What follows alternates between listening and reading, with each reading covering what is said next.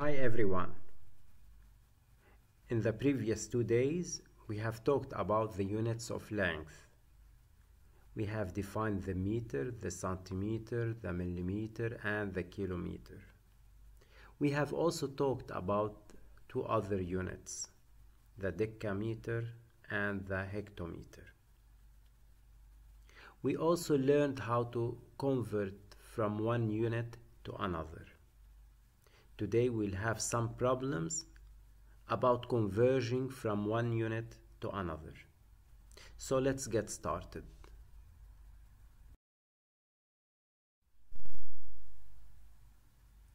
This is problem 1 from your textbook. Sammy measured the length of his table. It was 12 decimeter. The question says, what is the length of this table in centimeter and in millimeter? So we have 12 decimeter and we need to change it to convert it into centimeter then into millimeter.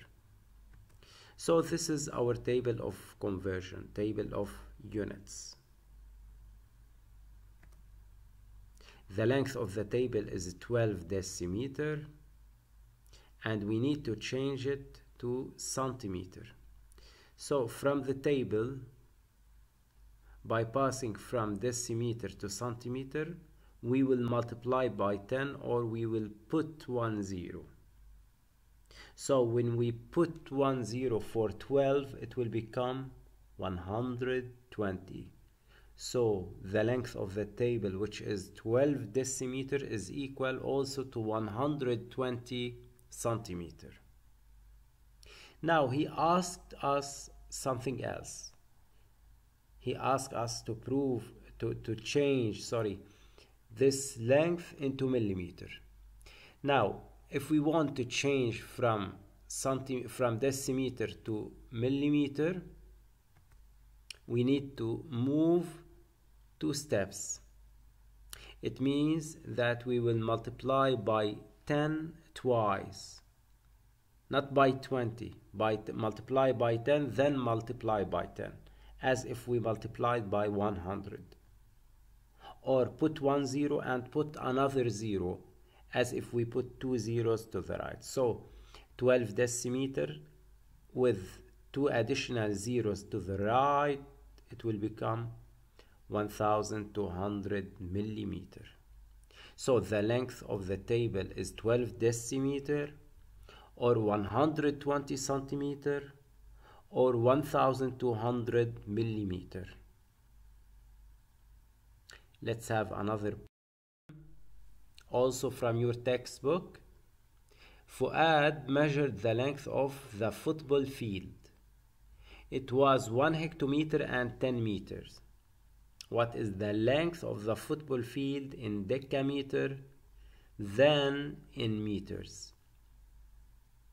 So the length of the football field is 1 hectometer and 10 meters. So we have 1 hectometer and we, we need to use the table of conversion. We are in, in hectometer and we want to change it to decameter so one step. We will put one zero. We will multiply by 10 so it is 10 decameter 1 times 10 is 10 now still we have the additional 10 meters. So also we need to change it to decameter we will omit one zero. So it will become one decameter so 10 meters are one decameter now the length of the playground of the field is 10 decameter plus 1 decameter which is 11 decameter now we are asked to change them into meter. So these 11 decameter we want to change them to meters so from decameter to meter we will multiply by 10 or we will put one zero So the answer is 110 meter. That's all. Bye bye.